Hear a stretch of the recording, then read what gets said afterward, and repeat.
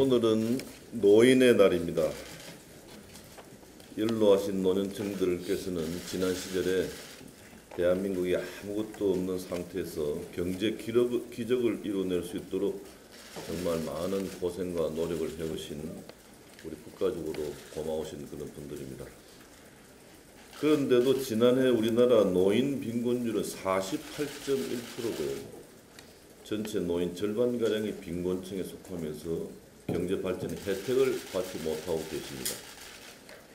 2006년 노인 빈곤율은 14.3%였는데 몇 년 새에 이렇게 가파르게 노인 빈곤율이 증가해서 노인 빈곤국이라고 해도 과언이 아닙니다. 어저께 언론 기사를 보니까 한국의 노인 웰빙 지수가 전 세계 96개국 중 50위라고 합니다. 50위. 특히 소득 안전성 부분이 스리랑카 43위, 중국 48위보다 훨씬 낮은 80위를 기록한 것은 선진국을 목전에 두고 있는 나라로서 매우 부끄러운 일입니다. 노인이 행복하고 잘 사는 나라가 진정한 선진국이고 제대로 된 복지국가일 것입니다. 우리 새누리당은 노인 빈곤 해결을 위해서 지난 국회에서 기초연금법을 통과시키고 7월 1일부터 기초연금을 지급하고 있습니다. 점차 기온도 차와, 차가워지는데 주변에서 소외된 노인분들은 없는지 잘 살피고 앞으로도 노인 빈곤 해결과 행복한 노년을 위해 어르신의 삶의 질이 더욱 높아질 수 있도록 입법적, 제도적 장치를 많이 만들 수 있도록 노력하도록 하겠습니다. 2017년 평창 동계올림픽 유치 결정이 났을 때 전 국민들은 눈물로 감격해 했습니다. 삼수 끝에 어렵게 유치된 평창 동계올림픽 게임이 성공 개최가 될 것이라고 전 국민들께서는 기대하고 계실 텐데 사실은 지금 심각한 위기에 놓여 있다고 합니다. 개폐식 경기장은 4만석의 규모로 어, 만들어져야 하는데 2017년 10월까지 준공되어야 하는데 어, 절대 공기는 2014년 절대 공기가 30개월이라고 합니다. 30개월. 그런데 아직 설계도 안 되고 있다고 합니다. 강릉에 지어질 스피드 경기장은 2017년 2월까지 준공이 되어가지고 올림픽 전에 국제 경기를 반드시 한 번 개최해야 한다는 룰이 있는데 이것 역시 절대 공기가 30개월인데 그러면 2014년 8월부터 착공이 되어야 하는데 아직 공사 발주를 못하고 있고 어, 언제 발주될지 모르는 그런 실정이라고 합니다. 8강 경기장 건설도 환경단체의 공사 방해로 어려움을 겪고 있다고 합니다. 이제 찬바람이 나기 시작하고 곧 어, 특히 강원도 고산지대에는 땅이 얼기 시작하면은 공, 기초공사는 아예 못하게 됩니다. 이런 심각한 위기에 빠져 있는데 과연 정부에서는 여기에 대해서 특단의 대책을 세우지 않고 있습니다. 조직위, 문체부, 강원도 이 세 기관이 서로 책임을 미루고 있다고 하는데 총리실에서 특단의 대책을 세워줄 것을 촉구합니다. 우리 강원도 국회의원 모두가 우리 새누리당 의원으로서 우리 새누리당도 여기에 대해서 상당히 큰 책임이 있습니다. 그래서 당에서 어, 이것을 어떻게 빨리 추진될 수 있도록 도울 수 있는 기구를 어, 만들 것을 검토해 주시기 바랍니다. 감사합니다.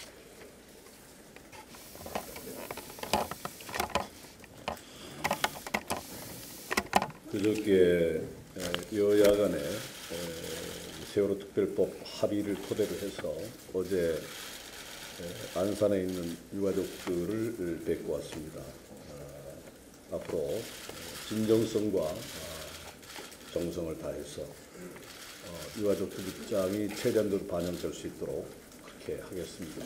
아, 이해를 구하는 자리였는데 어, 좀 미흡했지만 앞으로도 계속 유가족들과 어, 소통을 해가면서 어, 이 문제가 원만히 해결될 수 있도록 최선을 다하겠다는 말씀을 드립니다.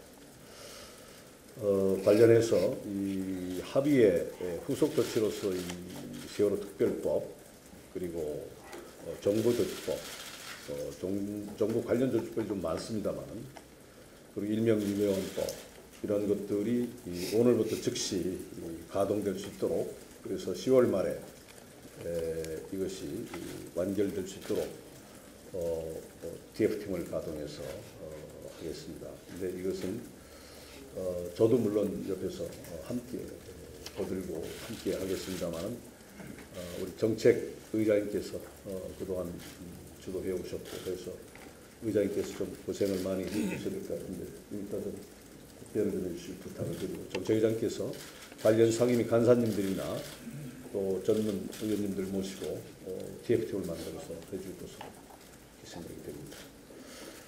오늘 의총에서는 어, 앞으로 예상되는 국정감사의 이 원만한 진행과 아, 예산 심의 그리고 각종 법안들의 이 심의결 관련한 음, 것들을 보고를 의총에서 의원님께 드리고 어, 앞으로 정기국회가 차질 없이 음, 비록 한 30일 정도 어, 차질을 빚- 빚었습니다만 될 수 있도록 그렇게 에, 설명과 보고를 올리면서 어, 구체적인 계획을 말씀드리는 시간 갖겠습니다. 이상. 다음 주부터 국정감사가 어, 본격적으로 어, 시작됩니다. 어, 매년 저희들이 듣고 있는 그 부실감사라는 그런 오명을 벗기 위해서 올해부터는 어, 국감을 분리 국감을 하기로 어, 계획을 했지만 결국 국회 파행으로 어, 당초 계획은 물 건너갔습니다. 사실 이런 그 혼란으로 인해서 정부 부처를 포함해서 피감 기관들의 그런 시간적 또 금전적 정신적 피해는 매우 컸습니다. 우리 국회는 겸허하게 먼저 반성을 해야 될 것입니다. 그리고 늘 되풀이 되고 있지만 이 폭로성 국감 그리고 민생과는 동떨어져 있는 그런 정치 싸움 절대 되풀이 돼서는 안 된다고 봅니다. 무엇보다도 지금 경제가 너무 어렵습니다. 이런 어려움 속에서 기업인들의 경제 활동, 정상적인 경제 활동에 반하는 무차별적 정인 채택, 이거는 반드시 저는 건절되어야 된다고 생각합니다. 그런데 이미 일부 상임위에서 대거 이 기업인들을 정인으로 지금 채택했습니다. 그리고 그와 관련해서 여야 간의 지금 논쟁도 어, 지금 심화되고 있는 그런 상황입니다. 이렇게 매년 과거에 이런 태행들이 구태들이 되풀이 된다면 아마 국민들 아마 고폭발하실 것 같아요. 어, 물론 이번 국감이 시간은 좀 짧지만은 어, 민생 국감 또는 정책 국감이라는 소리를 들을 수 있도록 우리 여야가 다시 한번 마음을 다잡아야 된다 그런 말씀을 드리고 싶습니다. 저 우리 대표님께서도 말씀하셨지만 오늘은 노인의 날입니다. 경로 효친 사상을 앙양하고 어, 노인에 대한 존경과 감사의 마음을 전하기 위해 제정된 오늘 노인의 날입니다. 어, 대표님께서 여러 가지 말씀을 해주셨기 때문에 에, 간단하게 말씀드리겠습니다. 이 현재 날로 심각하게 대두되고 있는 이 노인 문제에 대해서 어, 국민적인 어, 관심을 고취시키고 어, 노인에 대한 공경과 감사한 마음을 오롯이 전달할 수 있도록 저희가 아, 노인분들에 대해서 초당적으로 협력해 나가기를 희망하겠습니다. 아, 그리고 어, 내일이 에, 우리 결의 역사가 시작된 4346주년 개천절입니다. 개천절은 문화민족으로서의 새로운 탄생을 경축하며 하늘에 감사하는 우리 민족의 시조 단군 왕검이 최초의 국가인 고조선을 세운 날로 단일 민족의 에, 자긍심과 역사적 성취를 기리는 날입니다. 그러나 과거 역사에서 보면은 일제는 의도적으로 단군 조선 역사를 신화로 폄하했습니다. 이는 일제가 역사를 조작하고 민족의 뿌리를 없애려는 일제의 만행으로 일제에 저항하는 민족 정신의 구심점을 없애려는 것에 기인한 것입니다. 일본에 의해서 현대사가 굴절되고 또 역사가 왜곡되는 그러한 상황에서 우리는 훼손된 역사와 영토의 정통성을 되살려서 국가 정체성을 바로잡고 분열된 사회를 통합하여 침체된 경제를 살려서 어, 대한 선진 대한민국 평화통일 대한민국으로 도약해야 하는 역사적 사명을 반드시 이룩해야 합니다. 개천절은 우리나라의 생일로 국경일 가운데서 가장 원대한 뜻을 지녔고 그래서 우리 자신을 되돌아- 되돌아보면서 더 높이 기려야 할 기념일입니다.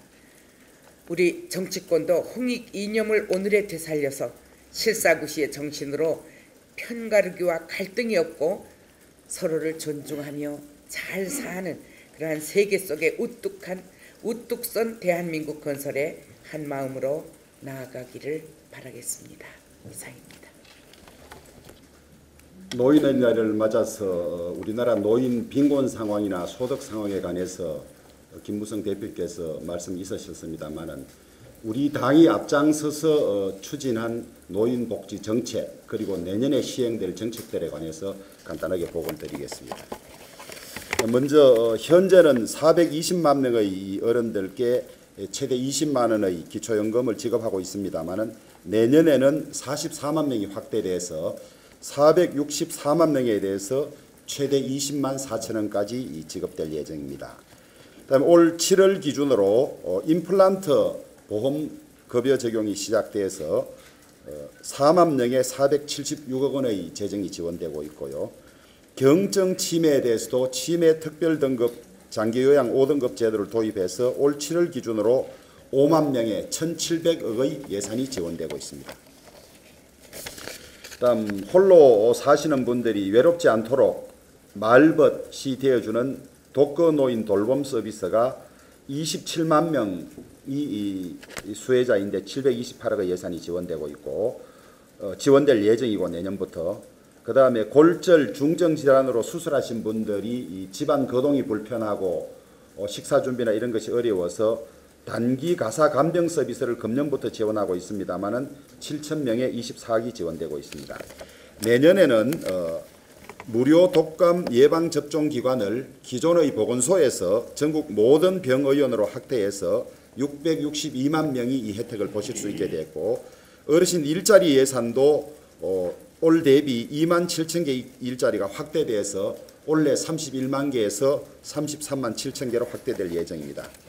아, 이 외에도 어, 야당의 근거 없는 공격으로 밝혀졌습니다만은 어, 경로당 냉난방비와 아, 급식비 문제는 어, 예산 제도 때문에 국회에서 정액하기로 이미 이 당정 협의를 마쳤던 그런 사안입니다. 다음 내년 예산과 관련해서 어, 새누리당은 이미 정부 안에 시간 선택제 일자리를 확대하고 어린이 A형 간염 무료 접종, 에너지 바우처제 신규 도입 등 많은 인- 민생 예산을 편성한 바가 있습니다만은 에, 먼저 정부 예산에는 미반영되었지만은 국회 심의 과정에서 정액하기로 사전 약속한 어, 조금 전 언급한 경로당 냉난방비 및 양국비 지원 586억, 보육교사 처우 개선비 2만 원 인상, 동계논 이모작 직불금 10만 원 인상. 아, 이런 것들은 어, 꼭 반영되도록 할 것이며 정부안에 반영되지는 않았지만은 영유아 보육, 보육료 지원을 위한 표준 보육 비용 인상, 참전 명예 무공 영예 수당 인상, 현장 체험형 일자리 확대 등 민생 일자리 관련 예산들이 충분히 확보되도록 상임위 단계부터 노력하겠습니다. 어제 일부 언론 보도에 복지 예산 6개가 아, 지난해 대비해서 삭감되었다는 주장이 있었습니다마는 이것은 사실을 파악하지 않고 제대로 되지 않은 보도이기 때문에 사실관계를 바로잡겠습니다. 먼저 국공립 어린이집 신축 예산이 깎였다는 주장에 대해서는 국공립 어린이집은 지원 방식을 신축에서 매입으로 바꾸었습니다. 아, 예산 효율화를 가지고 오기 위한 것인데요. 따라서 국공립 어린이집 신축 개수를 줄이는 것이 아니고 한정된 재원으로 더 효과적으로 국공립 어린이집을 늘리기 위한 방법입니다. 가정 양육 수단이 삭감되었다는 주장이 있습니다. 가정 양육 수단은 수당은 어린이집 미이용 아동들에게 지급되는 것인데요. 가정 양육 수당 총액이 줄어든 것은 맞습니다만은 영유아 수 자체가 감소된 데 따른 자연 감소분하고 어린이집 이용 음, 수가 확 늘어났기 때문에 어린이집 미이용하는 수가 줄어든 관계로 어, 조정된 것일 뿐입니다. 신생아 집중 치료실 지원 음, 예산 감소에 대해서는 이것이 원칙적으로 건강보험 사업이지 국가가 지원하는 사업이 아닙니다. 지금까지는 국가가 일부 지원했습니다마는 건보의 기본 입원료 수가가 인상됨에 따라서 국가와 검, 국가 재정과 건보 사이에 조정한 것입니다. 그 밖에도 암 환자, 영유아 건강관리, 노인 건강관리 사업은 외부 전문가 평가 결과 미흡 평가를 받아서 10% 삭감한 것이라는 것을 말씀드립니다.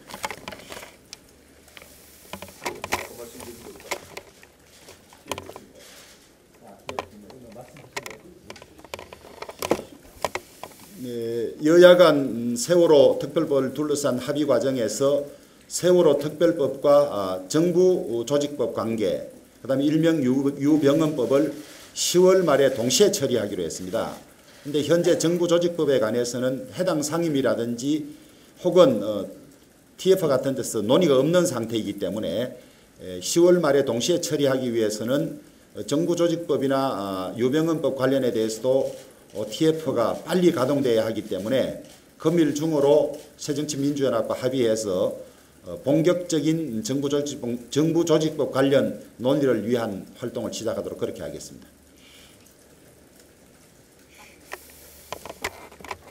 경로당 난방비는 수당에서 정부에 삭감한 게 아니라는 공고가 준비됐습니다. 그래서 오늘 또 반복했습니다. 하고 노인 회장님도 전화 드렸고 다 했습니다. 여러분이 말씀하셨지만 오늘은 제18회 노인의 날입니다. 어, 사적인 이야기지만 63년에 제가 1963년에 국민학교 6학년이었습니다. 64년에 평화시장에 제가 직공생활을 하고 있을 텐데 대한뉴스에 수출 1억 불 달성에 대해서 그 흑백으로 나와서 우리 온 대한민국 국민이 감격하고 수출 1억 불 달성했다고 기뻐했는데 작년에 예결위원장을 맡아서 제가 연말에 예산을 통과시키기 전에 우리 수출액이 얼마인가 확인해 보니까 5,600억 불이었습니다.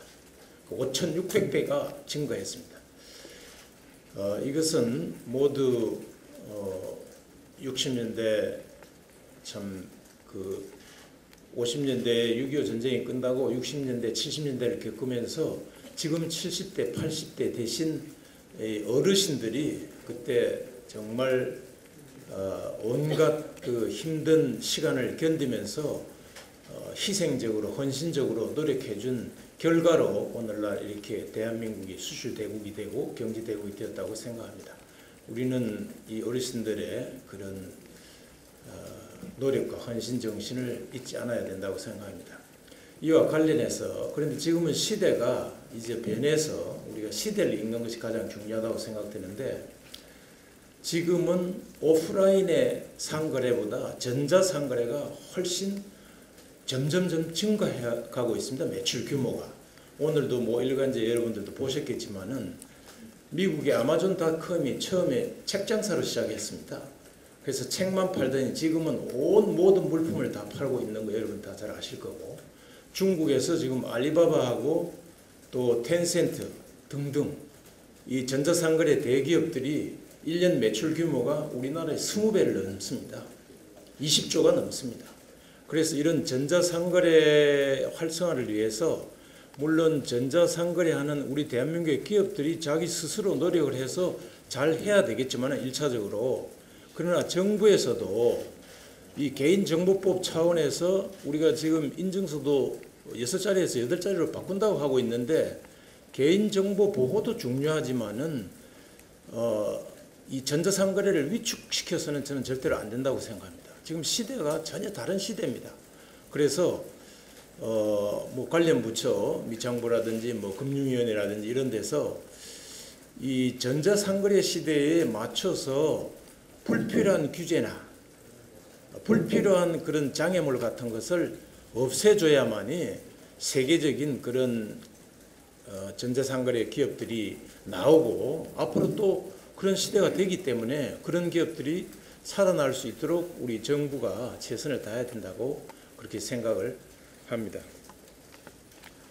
어, 그리고 어, 그 평창 올림픽과 관련해서 한 말씀 드리겠습니다. 지금 이제 아시안 올림픽 게임을 보면서 이 평창 올림픽 이 대비해서 어, 뭐 국무총께서 저 생각은 그렇습니다. 그 현지에서 그 관련 부처 장관들하고 그 현장 회의를 한번 주재를 해서 점검을 할 필요가 있다. 저는 그렇게 생각을 합니다. 네, 이상입니다. 어려운 경제, 여건 경제 역기업인들의 도움을 주기 위해서 하나에서 기준금리 인하했는데 오히려 기준금리는 상승한 그런 결과가 있어서 그에 대한 그런 어, 그런 현장 보고를 앞서고 있습니다. 공개하시겠습니다, 김홍준 보고 드리겠습니다. 에, 오늘 보고 드릴 순서는 대출금리 동향고하고 그 일부 은행의 대출금리가 소폭 오른 이유 그리고 어, 그동안의 조치 경고하고 대응 방안에 대해서 간단히 보고 드리겠습니다. 아, 최근에 대출금리 동향은 어, 금년 1월부터 8월 중에 에, 은행 대출금리는 아, 0.34%포인트 네, 0.34%포인트 하락했습니다. 에, 지금 어, 대표님께서 말씀하신 대로 기준금리가 인하된 8월 어, 한국은행이 2.5%에서 2.25%로 25bp 내렸을 때 에, 역시 은행들이 그거에 뒤따라서 어, 어, 큰 폭으로 하락됐습니다. 아, 이에 따라서 대부분의 은행, 즉 13개 은행은 에, 기준금리 인하에 따라 대출금리도 같이 예? 말씀했는데 예0.6 상승이라고 어디. 아 마이너스입니다. 마이너스 예, 예. 마이너스 예, 마이너스 세모가 마이너스입니다. 네. 그래서 그 은행 13개는 모두 어, 기준금리에 따라서 인하에 따라서 어, 대출금리도 인하가 됐습니다만 아, 4개 은행의 경우에는 주택담보대출금리가 소폭 상승한 사례가 아, 발생했습니다. 요거는 바로 보고 드리겠습니다. 아, 그렇지만 전체적인 은행의 그 금리 수준을 봤을 때는 아, 3.5% 내외로서 어, 대출금리 인상 또는 인하된 은행 모두 어, 절대적인 금리 수준은 아, 비슷한 수, 수준입니다. 아, 그러면 왜 에, 일부 은행, 즉 4개 은행의 경우가 아, 대출금리가 소폭 오른 이유에 대해서 어, 보고드리겠습니다. 아, 우선 아, 8월 중에 가상금리를 인상한 4개 은행의 경우에는 5월 달부터 7월 달까지 가상금리를 의도적으로 낮게 유지된 바 있습니다. 즉 어, 따라서 어, 기준금리가 인하됐음에도 4개 은행의 경우에는 어, 이미 그 전에 가상금리를 내려서 어, 특판 형식으로 대출을 장려했던 건데 에, 이게 오비 1학으로 8월 달에 다시 정상화하는 과정에서 보면 어, 저 가상금리가 정상화되면서 원상복귀 되면서 기준금리가 내렸음에도 불구하고 소폭 상승한 아, 그런 효과가 아, 나왔습니다. 아, 따라서 간단하게 말씀을 드리면 어, 일시적으로 확대됐던 가상금리 인하 폭이 8월 중에 정상화하는 과정에서 어, 나타난 것으로 파악이 됐습니다. 이는 아, 좀 전에 보고드린 대로 절대적인 금리 수준을 보면 3.5%로 비슷한 수준을 보이고 있다는 보고 있습니다. 아, 그 다음에 또 하나의 문제는 그 금리 조정을 할 때에 에, 대출 금리는 조금 있다가 반영이 되고 어, 예금 금리는 조금 바로 반영이 되는 특성이 있습니다. 따라서 요번같이 금리가 인하될 경우에는 어, 예금 금리는 바로 인하가 되지만 어, 대출 금리는 어, 1개월 정도 시차를 두고 인하되는 효과가 있고 반대로 대출 이 기준 금리가 인상될 경우에는 아, 대- 예금 금리는 바로 인상이 되고 어, 대출 금리는 나중에 조정되기 때문에 대출하는 사람이 더 유리한 에, 그런 효과를 갖고 있습니다. 어쨌든 간에 에, 이러한 아, 부분이 오비 일학이 됐습니다마는 아, 아, 이제 금융 소비자들 입장에서 보면 아, 한국은행의 금리가 내렸음에도 불구하고 대출 금리가 아, 소폭이나마 오른 거에 대한 충분한 홍보가 되지 않고 또 그런 부분에 대해서 어, 합리적인가라는 음, 부분은 어, 볼 필요가 있다고 생각을 합니다. 아, 그렇지만 더욱더 중요한 거는 이러한 금리 수준의 어떤 변화도 있지만 아, 일반 국민들, 중소기업이나 서민들의 금융 접근성을 높여서 보다 많은 분들이 자금을 쉽게 조달해서 민생 안정이나 아, 중소기업 아, 발전 또 서민 경제 에, 활력 이런 거를 하기 위한 종합적 대책이 필요하다고 생각합니다. 아, 그래서 첫 번째 에, 에, 보고 드린 금리를 인상한 일부 은행에 대해서는 에, 가상금리가 적정하게 운영되고 있는지를 어, 지도를 하고 있습니다. 금감원에서 9월 24일부터 지도를 했는데 에, 상당히 합리적인 아, 그런 부분도 있습니다만은 아, 마침 또 8월 달에 내린 그런 효과가 있기 때문에 에, 그 오비락적인 그런 게 있기 때문에 특판 판매 연장 등의 운영을 실시할 예정이고 어, 10월부터는 금리가 그거보다 좀 더 내려가는. 그리고 이거와 더- 더불어서 소비자 보호 차원에서 어, 모든 업권의 금리 수수료를 어, 적정화 유도할 수 있는데 정부가 직접 개입하는 것은 어, 시장 가격의 결정이기 때문에 좀 어려운 측면이 있습니다. 따라서 어, 어떤 비교 공시나 이런 걸 통해 시장에서 스스로 소비자들이 판단할 수 있는 판단 근거와 시장의 압력에 의해서 금융기관들이 금리나 수수료가 적정화될 수 있도록 그런 방식을 취하고 있습니다. 다음 쪽입니다. 아, 이와 아울러서 그 대출금리 안정과 같은 미시적인 노력과 함께 에, 가장 중요한 경제 활성화를 위한 거시적 대책도 어, 병행 추진하고 있습니다. 가계 부채 연착륙과 아, 시장 안정 primary CBO를 통해서 어, 그동안에 에, 사실 그 어려웠던 그 건설, 조선, 해운 부분에 대해서 현재까지는 어, 상당히 그 유동성의 에, 공급을 통해서 어, 부도라든지 이런 데 최악의 사태는 막았다고 생각합니다. 또한 음, 금융 경쟁력 강화라든지 규제 개혁 강화를 통해서 어, 여러 가지 경기 선도적인 금융산업의 기능을 촉진하고 있습니다.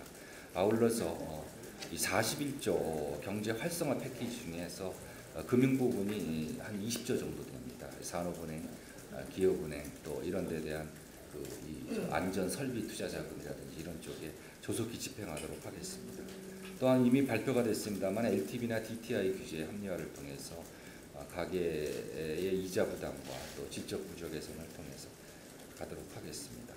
아, 가장 중요한 거는 이제 창조금융의 지원 역량을 강화하는데 아, 지금 우리가 가장 당면하고 있는 것이 기술과 사업성이 있는 기업 어, 은 담보가 없으면 어, 금융 지원을 받지 못하는 경우가 있어서 어, 강력한 드라이브를 가지고 어, 기술 금융을 확산시키고 모금 자본을 육성하는 등의 실천 계획을 추진하고 있습니다. 그래서 어, 기술 신용 평가 기관인 TCB를 지정을 하고 어, 해서 강력하게 추진한 결과 현재까지는 비교적 시장 반응이 괜찮습니다. 아, 8월 한 달 정도 기간 중에 약 1,660건의 1조 원의 기술만 가지고 어, 사, 어, 사업성만 가지고 가는 그런 부분이 있습니다. 아울러서 어, 금융회사들의 보수적인 관행을 타파하기 위해서 우선 감독 체계부터 감독 방식부터 개선을 하겠습니다. 아, 직원 제재는 앞으로 90% 이상 감축하고 아, 필요하다면 아, 기관 제재 중심으로 가고 어, 또 혁신성 평가 등을 가도록 하겠습니다. 그리고 아울러서 제가 이러한 효과가 극대화될 수 있도록 어, 매주 한 번씩 제가 직접 현장 방문을 통해서 어, 그동안에 발표했던 대책을 점검하고 있습니다. 아, 금융위원회를 비롯한 정부는 금융시장 안정, 창조금융, 아, 경제 활성화 노력에 진력하겠습니다. 아, 그리고 중소기업, 아, 서민 금융 부담 완화 등 민생 안정의 핵심 역할을 어, 적극 수행하겠습니다. 아, 비록 오비라 성격이 좀 있습니다만은 아, 한은의 기준금리 인하가 됐음에도 불구하고 어, 일부 은행의 금리가 다소 올라서 여러 가지 걱정을 끼쳐드린 데 대해서 죄송하다는 말씀드리겠습니다.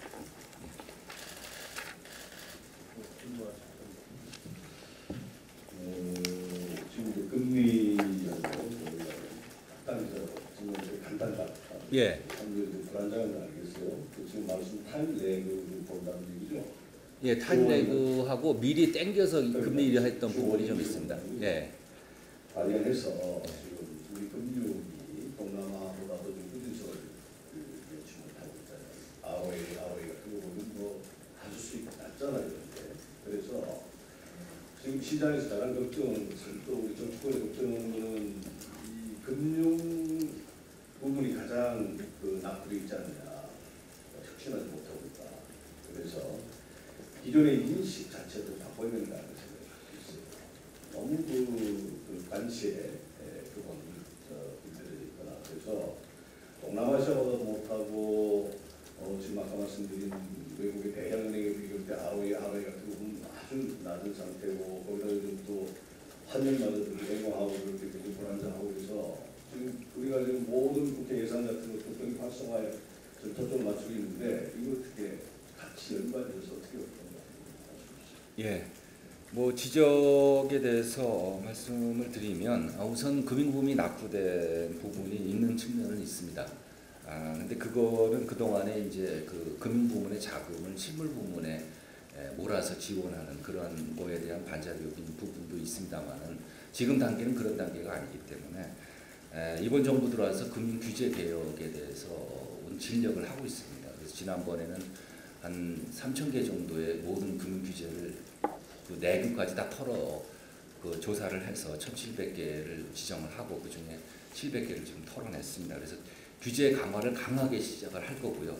지금 말씀하신 대로 이 그동안에 이제 담보나 보증 또 보수주의 이런 거에 따른 어떤 문제점 아, 이런 걸 하기 위해서 제가 이제 기술금융에 지금 큰 박차를 가해서 앞으로는 기술을 평가하는 시스템을 만들어서 그 기술 평가 시스템에 따라서 어, 은행에서 대출이 나가거나 투자를 할 때는 어, 기본적으로 면책 어, 제재를 하지 않겠다라는 쪽으로 해서 강하게 저희가 어, 이것만큼은 뭐 관치라는 얘기를 들어서라도 제가 이 부분에 대해서는 강하게 좀, 좀 추진하도록 하겠습니다. 기본적으로는 뭐 규제를 없애고 어, 필요한 부분에 대해서 정부가 직접 어, 드라이브를 갖고 의지를 갖고 지원해 나가겠습니다.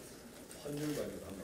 환율은 제 직접 소관은 아닙니다만은 제가 뭐 과거에 기획재정부에 있었기 때문에 말씀을 뭐 환율 부문도 여러 가지 중요한 거시경제 변수의 하나라고 생각을 합니다. 그건 뭐 관계부처 협의를 해서 잘 대응을 합니다. 지금 제가 왜냐면 제가 제 소관이 아니라서 제가 이제 직접 말씀드리기에는 조금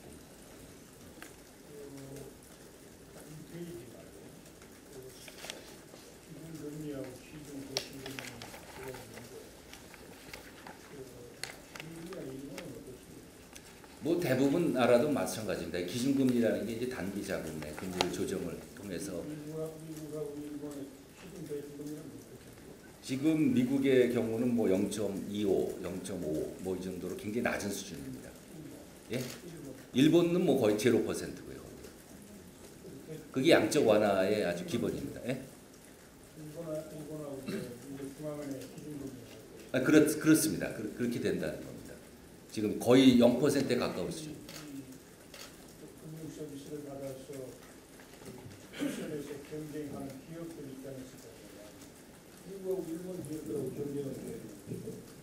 이게 뭐 국물적으로 뭐 대책이 있어야 될까요? 미국하고 EU나 일본은 양적 완화, 양적 완화라는 그 정책 수단이 과거에 있었습니까? 과거에 없었고요. 2008년도에 리만 브라더스 사건 이후로 나왔던 거고 일본의 경우는 그런 양적 완화 정책이 조금 있어 왔습니다. 예. 아니 그러면 양적 완화라고 하는 바로 교과서에 없는 정책 수단을 예. 혁명적으로 도입한 거 아니에요? 예, 그렇습니다. 예.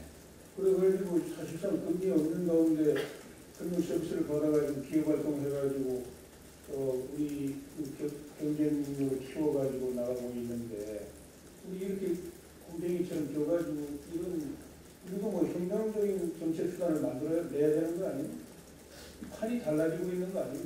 뭐 제가 그 부분에 대해서 어, 어, 제 소관이 있기 때문에 예, 이거는 한국은행의 금리 결정권은 한국은행에 있고 또 그러한 전체적인 그 거시 정책은 이제 부총리가 계시기 때문에 제가 뭐, 뭐 여쭤보게 예. 금융 이 금리 말 기준금리 문제만 가지고 어 한국은행이 전적인 한국은행 권한이 예, 그 기준금리의 결정 권한은 한국은행이 독립적으로 운영하고 있습니다. 근데 한국은행 일본이 왜 아베 총리가 처음에 그 양적 완화한다고 할 때 한 일본은행 그, 저 총재가 반발하니까 어떻게 뭐 했던데. 네, 그래서 뭐 그거는 네. 뭐 아니 그러니까 지금 뭐 엔저 엔저 때문에 한국 기업들이 다 지금 부기되었다고 신문에 열린 보도가 나오고 있는데 뭐 금융위원회가 금융정책 세우는 건 아닙니까? 예, 하여튼 그 부분은요.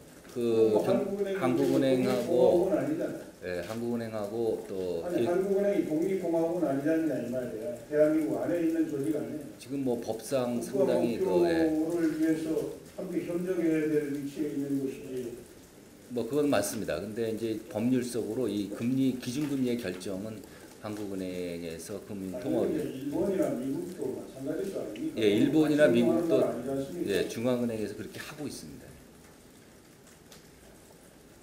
그다음에 그 금융감독원은 규제를 집행하는 것이고 예, 그렇습니다. 금융위원회는 금융정책을 발전적으로 설계하는 것 아닙니까? 그렇습니다. 예. 이건 대표도 말씀하신 것처럼 그렇게 심각하게 생각 안 하시는 것 같은데 어, 지금 한국 금융은 완전히 오그라들어 버렸다. 뭐 심각하게 생각하고 있습니다. 뭐 금융은 이런 경제 분야에 이 혈액을 공급해주는 기능뿐만 아니라 그 자체가 엄청난 산업이지 않습니까? 그렇습니다. 예.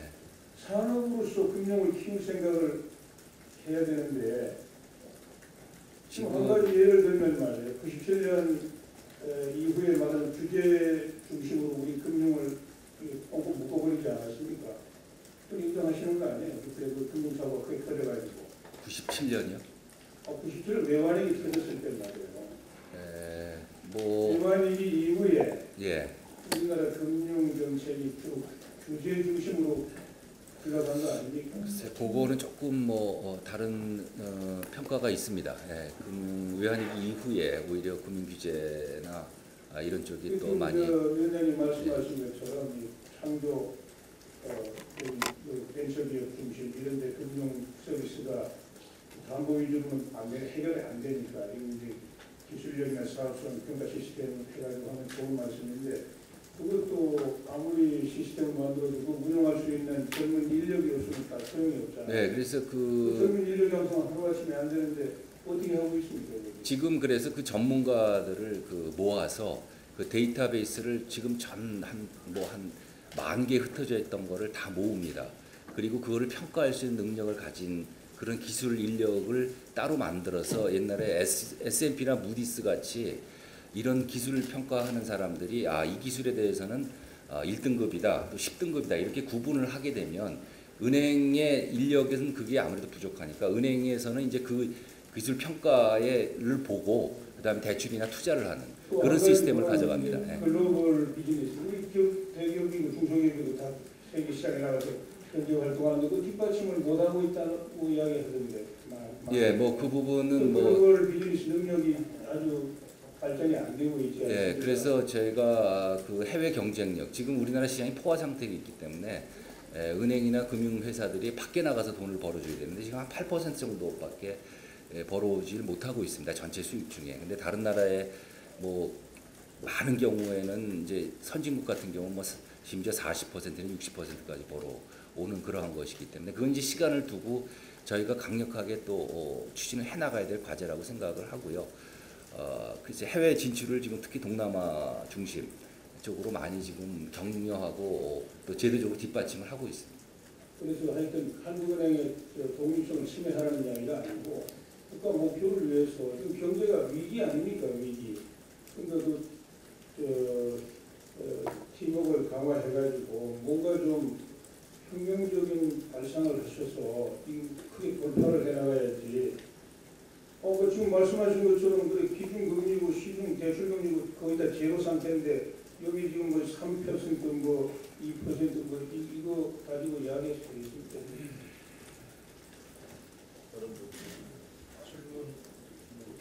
예, 금융 예. 금융위원회는 이제 금융의 정책하고 황도원이 이제 규제, 감시 이런 걸 주로 하는 거 아니겠습니까? 지금 그렇죠? 예, 그렇습니다. 예. 근데 대한민국의 현재 돈의 약 70%가 부동산에 있지 않습니까?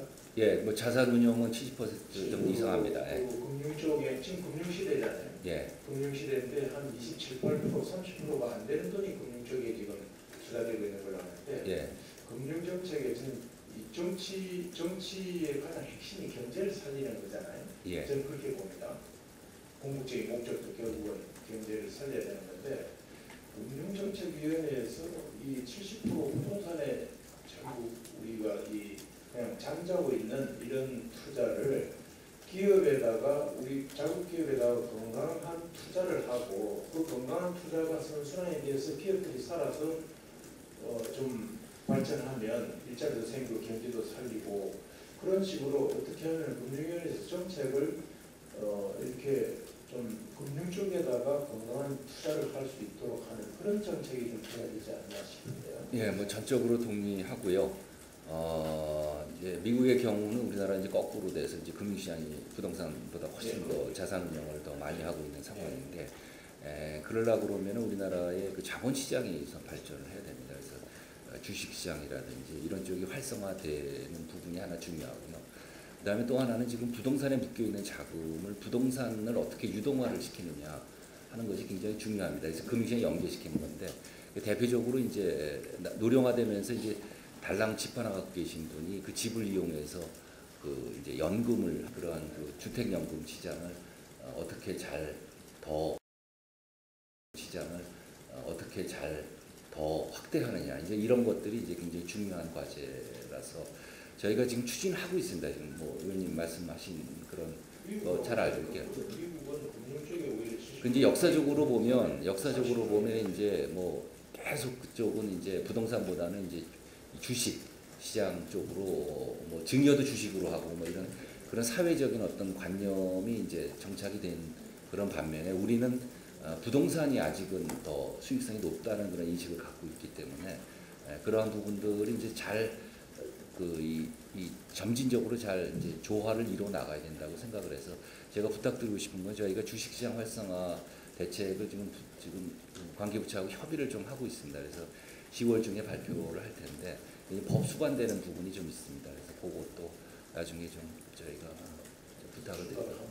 예. 아까 조금 전에 제가 언급을 했을 때 오늘 아침에 뭐 여러 가지의 그 알리바바를 비롯해서 중국의 그 텐센트 등등 전자 상거래 기업들이 어마어마하게 지금 크고 있는데 우리는 지금 그렇지 못하잖아요. 온라인보다 아니 오프라인보다 전자 상거래 쪽으로 그다음에 쇼핑도 오프라인보다 홈쇼핑 쪽으로 매출 규모가 급격히 지금 실트되고 있는데 예.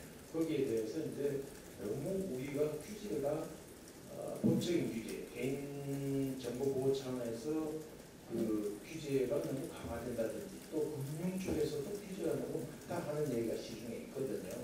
그런 부분을 좀 우리 위원장님 잘 살펴 네, 잘 알고 있습니다. 요번에 예, 전제 상거래 활성화가 제1의 목표고요. 거기에 수반되는 전제 결제 시장 에 네. 대한 규제는 저희가 다 풀겠습니다. 근데 이제 보, 말씀하신 대 이제 보완성 문제가 있어서 보완성도 예. 심하죠. 전자 상거래가 위축되면 안 되거든요. 그, 그, 그, 저 오늘 주에 그 하는 그,